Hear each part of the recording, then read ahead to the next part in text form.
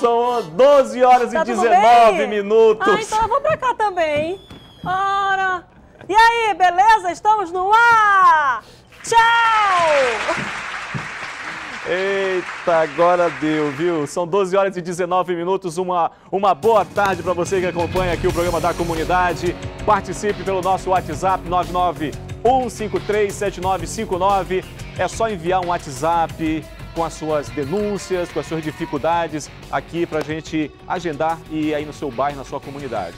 Vamos falar o seguinte, pessoal, que agora pela manhã o Ministério Público foi até lá na comunidade Monte Cristo, localizado no Nova Cidade, zona norte de Manaus, é, da, pra, da fa- fazer um processo de reintegração de posse. Eles já estavam ali há bastante tempo, há mais de, de meses, e lá é uma área de preservação permanente, uma APP. O nosso repórter Fred Rocha Especial foi lá pela manhã acompanhar essa reintegra- reintegração de posse feita pelo Ministério Público e traz os detalhes aqui ó, na tela do agora. A desocupação começou por volta das nove e meia da manhã aqui na comunidade Monte Cristo, na zona norte da capital. A máquina está ali em campo derrubando aquelas moradias que estavam sendo construídas. As outras moradias que foram construídas já, que já estão de pé, que as pessoas já estão morando há algum tempo, essas pessoas ainda vão ter um tempo para sair daqui. Quem está aqui ao meu lado é o defensor público do estado, Roger Moreira. Defensor, é, essas pessoas que já estão morando aqui há pelo menos dois meses, três meses, elas terão um tempo porque o protocolo pede isso, né, para que elas deixem o local.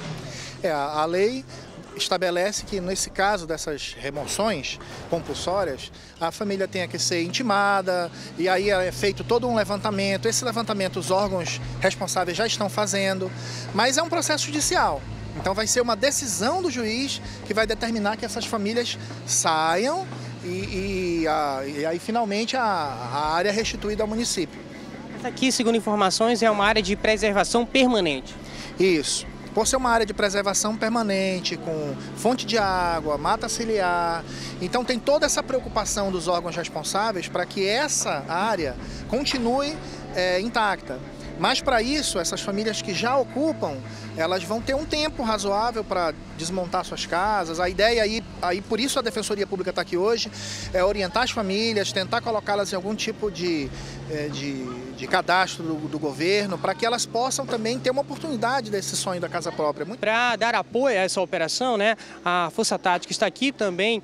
É, o batalhão da Polícia Ambiental está aqui na comunidade para dar apoio nessa operação de né, desapropriação dessas famílias que estão aqui. Ali ao fundo a gente dá, observa as máquinas que estão trabalhando e o que já foi dito para as pessoas é que aquelas que ainda estão construindo, né, têm a oportunidade de tirar o material para recuperar, para não perdê-lo. A gente observa que tem gente até ignorando isso aí, né? É, tem gente construindo, inclusive, casas de alvenaria. Uma situação bem difícil mesmo, mas como se trata de uma área de preservação permanente, é, é isso que demanda a lei. Enfim, é o que está sendo cumprido aqui no local. Fred Rocha para o Agora. Obrigado, Fred Rocha, pelas informações. O Fred foi cedo lá acompanhar o Ministério Público. Estavam ali policiais também, né? É, que foram lá fazer essa reintegração de posse. Esse local aí, como o Fred estava me falando, é uma área de preservação permanente. Então, assim, não pode invadir, não pode ser é, utilizado para nada aí, para esse tipo de, de, de- de invasão, assim, para fazer as casas, né? Para fazer a invasão, não tem estrutura.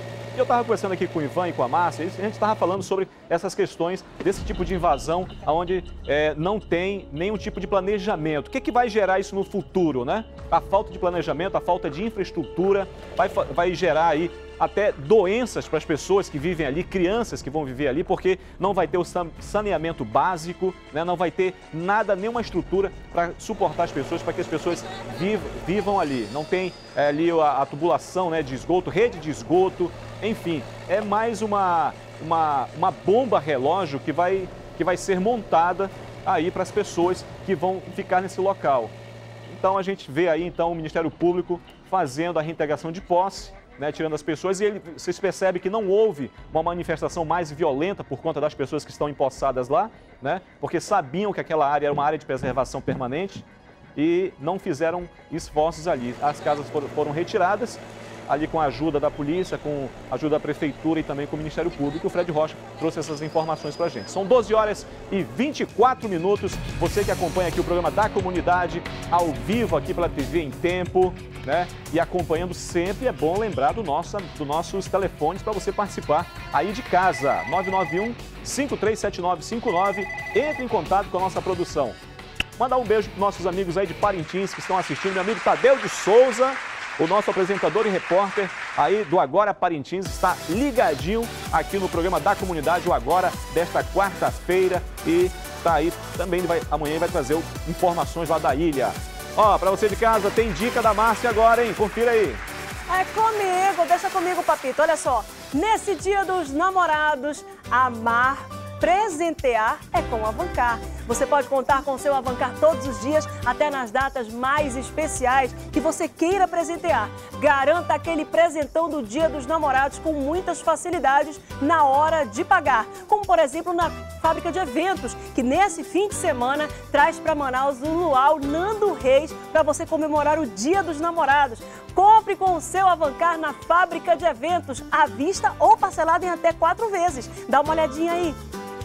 Você adora um showzaço, né? E nem importa se é axé, forró, pagode ou sertanejo, pois você não vai acreditar na novidade que o Avancar tem para você. Agora você pode comprar o ingresso do show do seu ídolo com o Avancar aqui na fábrica de eventos.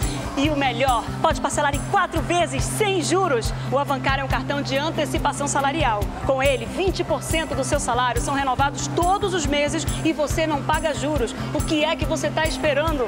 Desbloqueia logo o seu cartão. Na hora de comprar, escolha bancar. Com ele, você só tem a ganhar.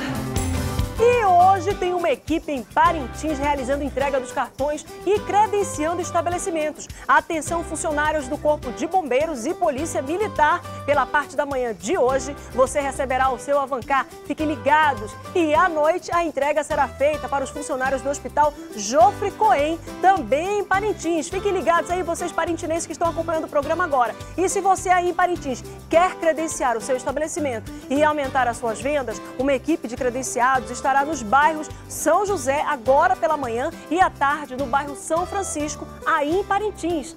Amar, presentear é com o Avancar. Com ele, você só tem a ganhar. 12 horas e 27 minutos. É nesse clima romântico, nesse clima de muito amor que o Avancar traz para você também. A gente vai para o intervalo e volta já já.